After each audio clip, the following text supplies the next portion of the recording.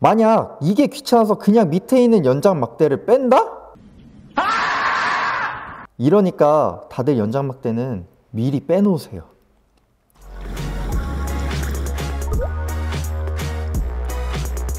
식물 식물 식물 식물 식물 식물 식물 식물 5200만 국민들이 건강한 식물 식도가 되는 그날까지 제리 프렌트 오늘은 티움미니 사용 시 꼭 알아두어야 할 세 가지에 대해서 알아보도록 하겠습니다. 알아두기 전 전달해드리고 싶은 말이 있습니다. 예전에 제가 좋아했던 TV 프로가 있었습니다. 책책책 책을 읽읍시다. 정말 좋은 프로였죠. 저는 새로운 프로를 해보고 싶습니다. 씩씩씩 식물을 키웁시다.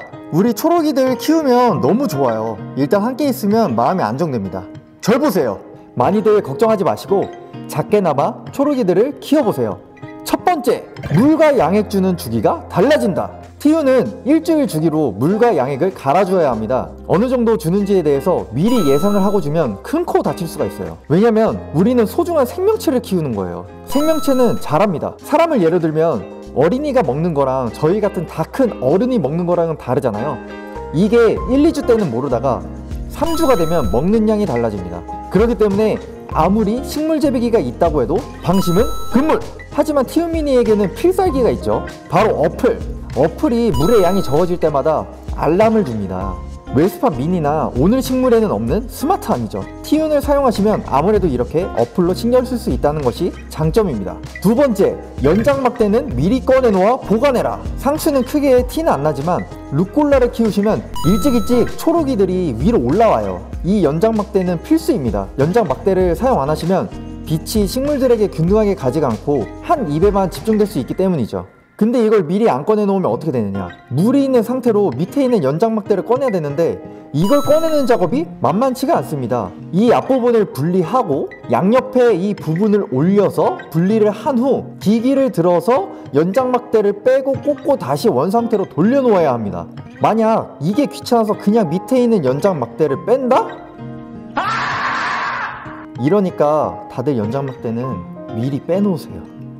세 번째, 베란다나 창가에 티운을 두면 안 된다. 전국에 계신 연세 살식마님들, 세상에 제일 위험한 행동이 뭔지 아십니까? 얕은 지식이 제일 위험합니다. 식물은 환기가 잘 되고 햇빛이 잘 드는 곳에 둬야 되니까 티운도 여기다가 둬야지 하면 절대 안 됩니다. 티운 미니는 고온이나 저온 또는 베란다 창가 주면은 주위의 온도 변화가 엄청 큰 곳이기 때문에 배치하시면 절대 안 됩니다. 그리고 마지막 설정값입니다. 식물도 햇빛 많이 보면 좋지 밤에도 불 켜야겠다 이러면 안 됩니다.